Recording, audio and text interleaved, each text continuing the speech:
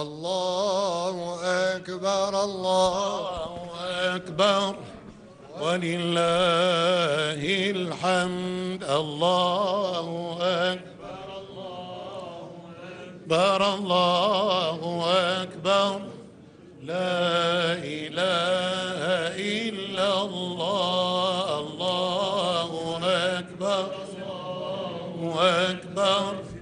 ولله الحمد. في مدينة الله مدينة أكبر الوطني محافظة الله دمشق وذلك لأداء صلاة عيد الأضحى المبارك. كما تتابعون السيد الرئيس وقد دخل الجامع لأداء الصلاة وسط هذا التهليل وهذه التكبيرات. بعيدنا المبارك عيد الإيثار والتضحية والغيرية. لا إله إلا الله الله أكبر الله أكبر، الله أكبر. ولله وسينادى بعد قليل للصلاة. صلاة عيد الأضحى ثابكم الله.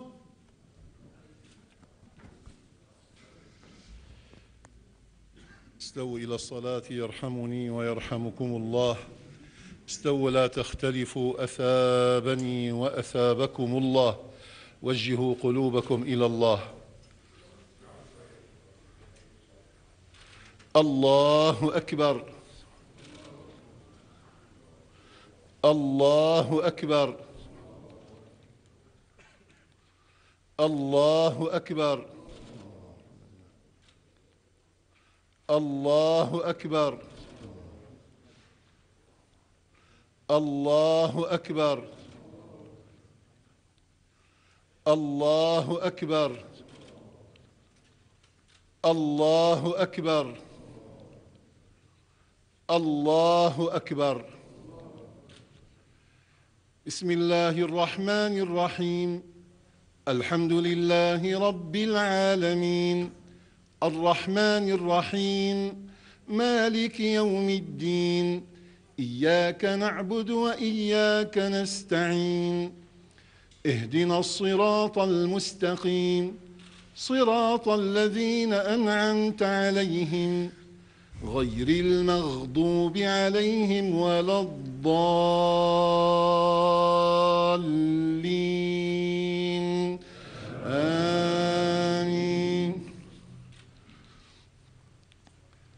الحج أشهر معلومات فمن فرض فيهن الحج فلا رفث ولا فسوق ولا جدال في الحج. وما تفعلوا من خير يعلمه الله وتزودوا فإن خير الزاد التقوى واتقون يا أولي الألباب الله أكبر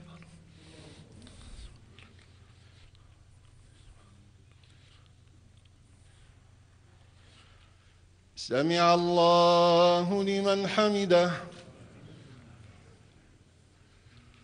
الله أكبر.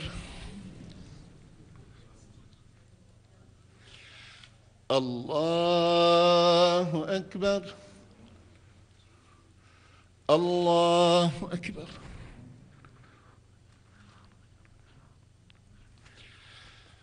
الله أكبر. الله أكبر. الله أكبر. الله أكبر. الله أكبر. الله أكبر. بسم الله الرحمن الرحيم. الحمد لله رب العالمين. الرحمن الرحيم. مالك يوم الدين. إياك نعبد وإياك نستعين.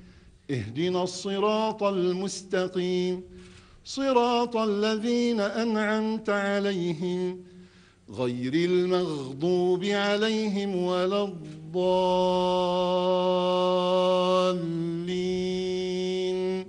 آمين.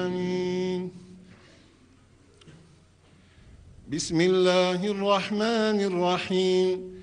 إنا أعطيناك الكوثر فصل لربك وانحر إن شانئك هو الأبتر الله أكبر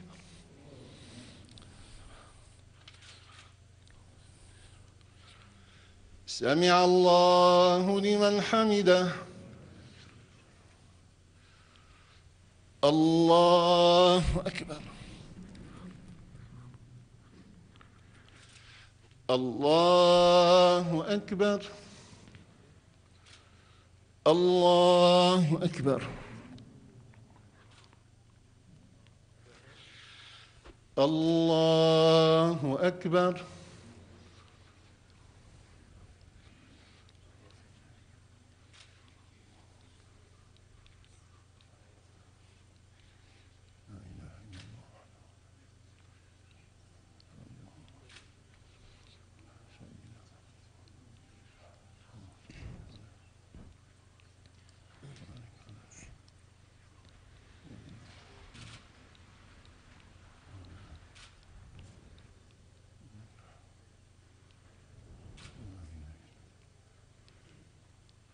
السلام عليكم ورحمة الله.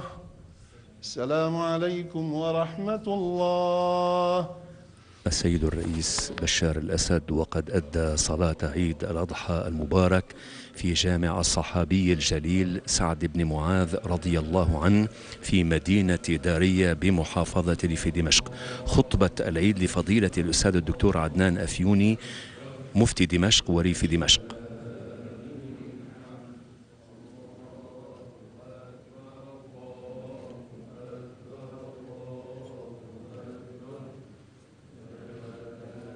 السلام عليكم ورحمة الله تعالى وبركاته. الله أكبر الله أكبر الله أكبر الله أكبر الله أكبر الله أكبر الله أكبر الله أكبر الله أكبر الله أكبر كبيرا والحمد لله كثيرا. وسبحان الله العظيم وبحمده بكرة وأصيلا وأشهد أن لا إله إلا الله وحده لا شريك له وحده لا شريك له صدق وعده ونصر عبده وأعز جنده وهزم الأحزاب وحده لا شيء قبله ولا شيء بعده. مخلصين له الدين ولو كره الكافرون. وأشهد أن سيدنا محمدا عبده ورسوله صفيه وخليله خير نبي اصطفاه وهدى ورحمة للعالمين أرسله. اللهم صل وسلم على سيدنا محمد وعلى آل سيدنا محمد وعلى أصحاب سيدنا محمد وعلى أزواج سيدنا محمد وعلى ذرية سيدنا محمد وسلم تسليما كثيرا. أما بعد فيا عباد الله يا أهل الإيمان أوصيكم ونفسي الخاطئة بتقوى الله عز وجل وأحثكم على طاعته وذكره واستغفاره وأذكركم بقول الله تبارك وتعالى يقول يا أيها الذين آمنوا اتقوا الله حق تقاته ولا تموتن إلا وأنتم مسلمون. معاشر المؤمنين تعيش الدنيا في هذه الأيام المباركة اجواء إيمانية متميزة ينشر عبقها وأريجها. اسرار وثمار حج بيت الله الحرام حيث يتجلى المولى برحمته ومغفرته ورضوانه على ضيوف الرحمن خصوصا وعلى كل المؤمنين في الأرض عموما. هناك هناك تتصل السماء بالأرض والحج يا معاشر الكرام أشواق وأذواق. ومشاعر وشعائر تحرك المواجيد وتأخذ بالألباب وترحل بالأرواح شوقا إلى تلك الرحاب الطاهرة والمناسك العامرة التي يعود الناس منها كيوم ولدتهم أمهاتهم مبرورين مأجورين قد حصلوا خير الدنيا وخير الآخرة. ومن الطبيعي أيها الكرام أن تهفو القلوب وتهوي لنيل تلك الإفضالات السنية والمقامات العلية مصداقا لدعاء الخليل إبراهيم فاجعل أفئدة من الناس تهوي إليهم والسوريون مثل كل المؤمنين تهوي أفئدتهم وتتأجج مشاعرهم وتتعلق آمالهم بتحصيل هذا الخير الوافر لكنهم بقرار جائر ظالم حرموا للمرة الخامسة هذا الخير العميم يحال بينهم وبين حج البيت الحرام والوصول إلى تلك الرحاب الطاهرة ممن يدعي قيادة الأمة المسلمة والحرص عليها لا لذنب فعلوه ولا لجرم ارتكبوه إلا لأنهم سوريون اختاروا أن يبقوا في أرضهم وبيوتهم اختاروا أن يكونوا مع وطنهم. السوريون اليوم يسألون بصوت عال هل يجوز لمن يدعي خدمة الحرمين والحرص على المسلمين أن يحرم بسبب المواقف السياسية شعبا من حقه في عبادة الله عز وجل. مهمتهم أن يهيئوا البيت الحرام للطائفين والعاكفين والركع السجود لا أن يصدوا عن سبيل الله والمسجد الحرام عباد الله وأحباب رسول الله صلى الله عليه وسلم. ونحن السوريون سنجأر إلى الله تبارك وتعالى في أن يكون حسبنا في هذا الظلم الذي وقع علينا. ونحن واثقون من أنه سينصفنا لأنه هو تبارك وتعالى الذي حرم الظلم وأنه حسيب الظالم ونصير المظلوم. أيها الإخوة الكرام ومع أن حرمان السوريين من حج بيت الله الحرام حمل إلى قلوبهم مشاعر الحزن والأسى إلا أن عيد الأضحى في هذا العام يحمل لهم بين طياته نور الأمل بقرب انتهاء الأزمة.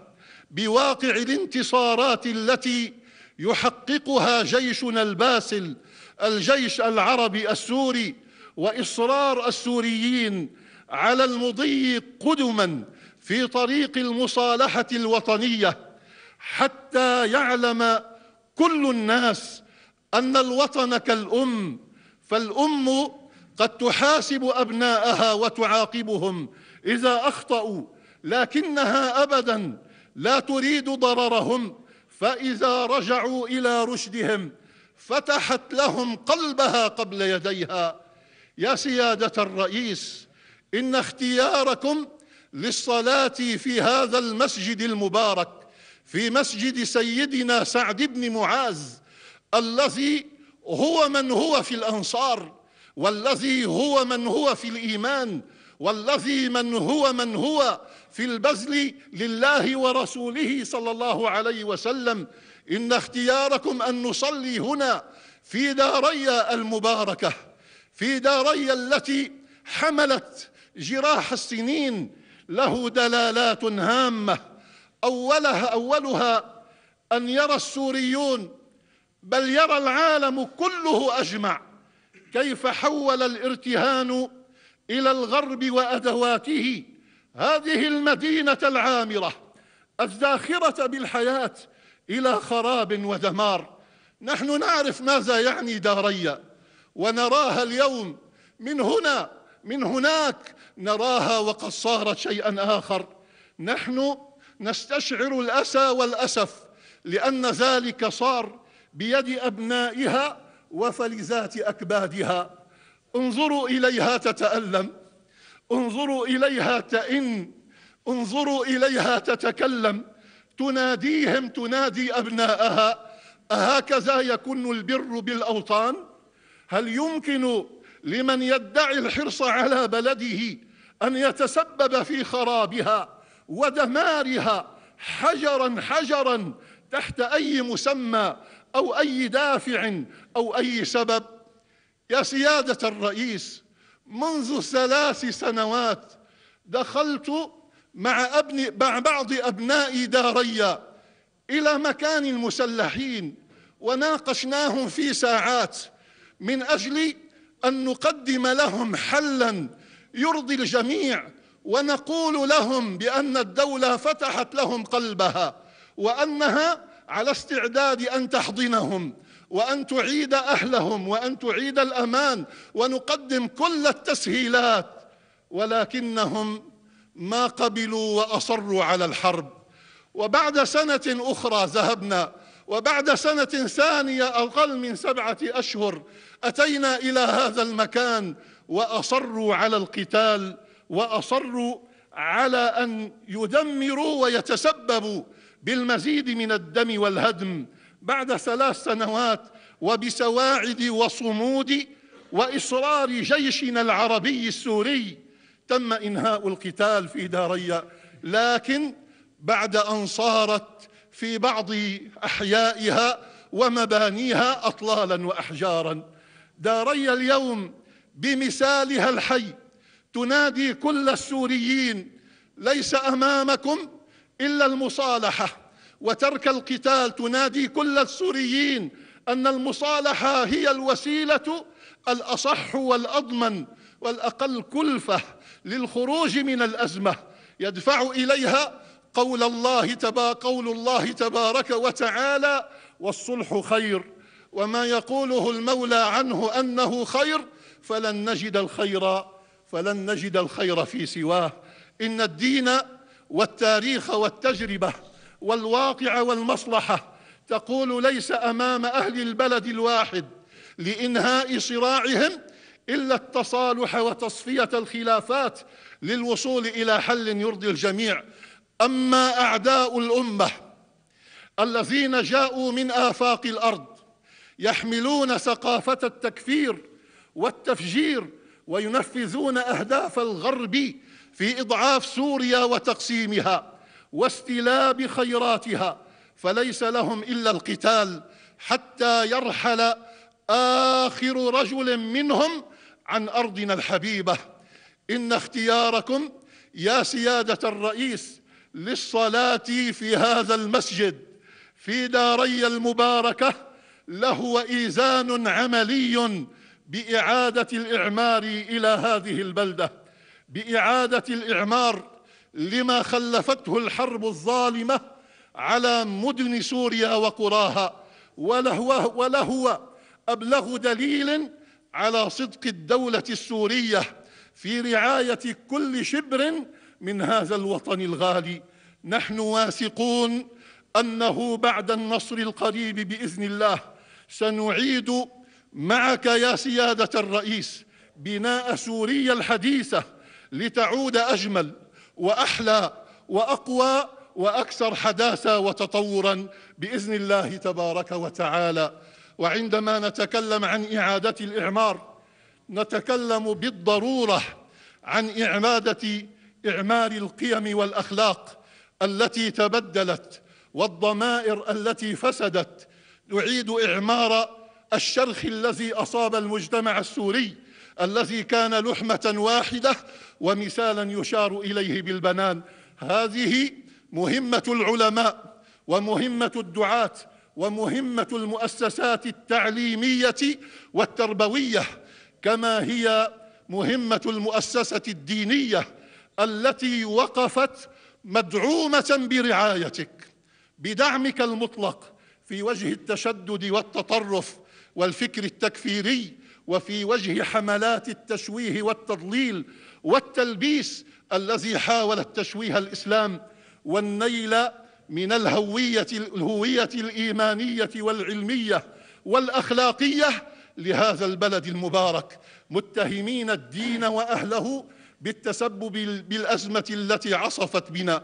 وكنت في كل مرة يا سيادة الرئيس في كل مرة تنتصر للحق وتبين أن السبب في الأزمة هو البعد عن الدين وليس الدين وستبقى هذه المؤسسة الدينية بعلمائها برجالها بمفكريها بمعاهدها بمجمعاتها وبمدارسها بتعاليمها الضافية ومناهجها المتكاملة تؤدي دورها الفاعل في نصح الأمة وصناعة الخير والإيمان لأن الدين والإيمان والأخلاق هي الضمان للانتصار ومواجهة الأخطار والأفكار التي تهدد أو تهدد الأمن والأمان وتهدد الأمة والوطن.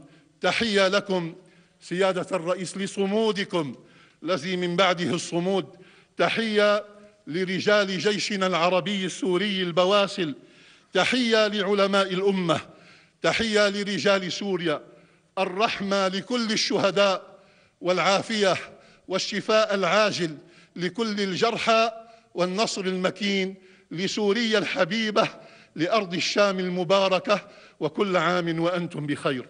أقول قولي هذا وأستغفر الله. الله أكبر الله أكبر. الله أكبر الله أكبر الله أكبر الله أكبر الله أكبر الله أكبر. أشهد أن لا إله إلا الله وأن محمدا رسول الله. اللهم صل وسلم وبارك على سيدنا وحبيبنا وشفيعنا وقرة أعيننا محمد وعلى آله وصحبه ومن اهتدى بهديه إلى يوم الدين إني داع فأمنوا. اللهم يا خير المسؤولين يا أرحم الراحمين يا رجاء السائلين ويا أمان الخائفين. عد بأمانك على هذا البلد الحبيب. أيده بتأييدك واكلأه بعنايتك وأمده بإمدادك. من أراد به خيرا فوفقه إلى كل خير ومن أراد به غير ذلك فخذه ودمره. أخذ عزيز مقتدر اللهم لزنا في جنابك العظيم من شر كل ذي شر أنت آخذ بناصيته. اللهم إنا نسألك لبلدنا الحبيب الفرج القريب اللهم اصرف عنها من الضر والأذى والبلاء والغلا والوباء وتسلط الأعداء ما لا يصرفه أحد غيرك. أنت رب العالمين وأكرم الأكرمين.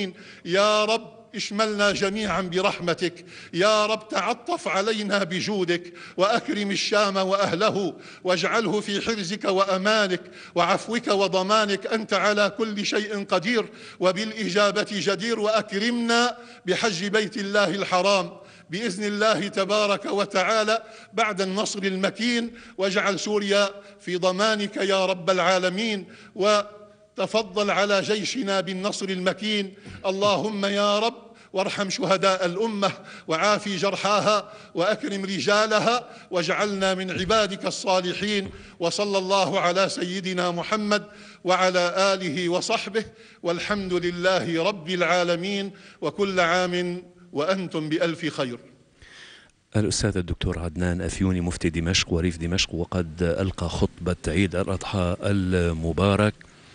وفي جامع الصحابي الجليل سعد بن معاذ رضي الله عنه في مدينة دارية النموذج والقدوة في تصالح أبناء البلاد المحبين. السيد الرئيس كما دائما يقف ليتلقى التحية والتهنئة من السادة المسؤولين في الحزب والدولة أعضاء القيادة السادة الوزراء السادة العلماء السادة أعضاء مجلس الشعب وفي هذه الساعة الإيمانية الطيبة وفي أول أيام عيد الأضحى المبارك السيد الرئيس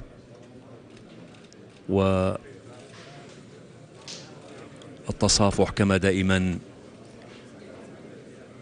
بالأيدي والقلوب في عيد الإيثار والغيرية والعطاء والتضحية التسامح والمسامحة من الإخوة المحتفلين بالعيد المبارك.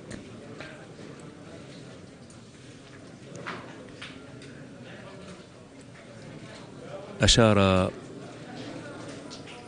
خطيب العيد إلى اختيار السيد الرئيس لجامع الصحابي الجليل